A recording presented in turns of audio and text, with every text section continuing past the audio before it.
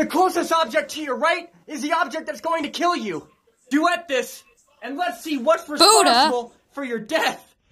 Oh my god.